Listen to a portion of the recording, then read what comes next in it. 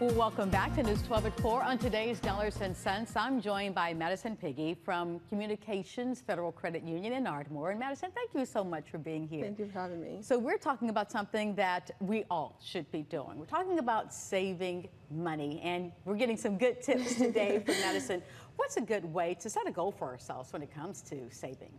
Um, I think you just should have the thing that you're really set on saving for, um, such as big things in life, going to college, so saving money for like a kid or you know, wanting to go on a big trip or something, um, you need to make sure that you're really passionate about saving it for that. Um, you need to make sure that you're not um, being discouraging like yourself, you know, just have like reoccurring money being sent over or, you know, Yeah. stuff like that. Just kind of set it and forget it if you can. Yes, yes. Because it is challenging, especially with inflation and so many things that happen to come up, to continue to stay committed to a goal of Yes, saving. yes, so you like naming accounts so that you can kind of see that thing, Yes. whether it's vacation or Christmas or whatever it is. Then we can kind of attach to that a little bit better. Is that what you're saying? Yes, madam Yeah, I think it's so much easier because you're set on that one goal. And so when you find the money and you're like, okay, I have $1,000 in here and I have to have $7,000 by the end of the month, then that's where the transfer comes in play. So you're having the money transferred from your checking account into your savings account.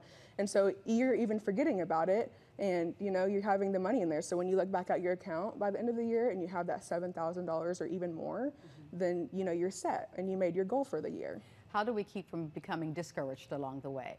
You know, that is very hard. Um, you know, little things come up, you know, new tire, you know, house payments more expensive, electric payments more expensive. But you just, you got to focus. You have to focus on, you know, this is what I'm set in stone for, and I want to go on this trip at the end of the year, and I have to continue to putting money in here for me to achieve that goal. Yeah, yeah. Can we set goals that are not realistic and also find ourselves facing discouragement?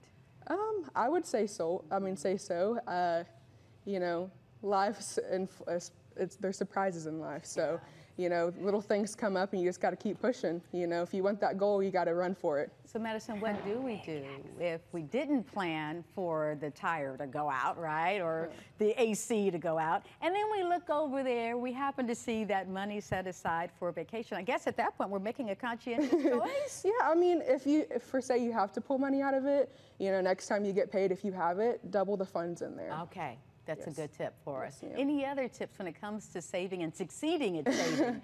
I would just say if you really want it, then you know you got to push for it. You got to work hard and you play hard. So, I mean, you just got to keep striving for your goals. Are you hearing people say more now because of inflation that it's harder to save?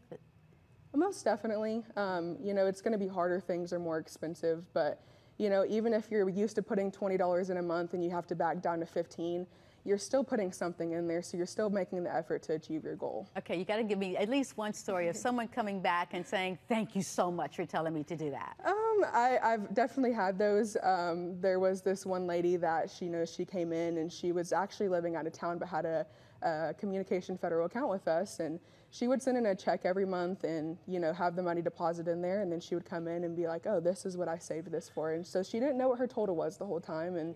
You know, eventually she found out when she came in. And it's something could be as simple as not having the, the evening or the dinner out, you know, or it's not going through the fast food restaurant or picking up your favorite coffee. Um, but it, it can be easy for you to reappropriate those Yeah. dollars. Yes, Thank yes, ma'am. you. These Thank are you. great tips. Thank you, Madison. And we'll be right back with a look at your forecast. Stay with us.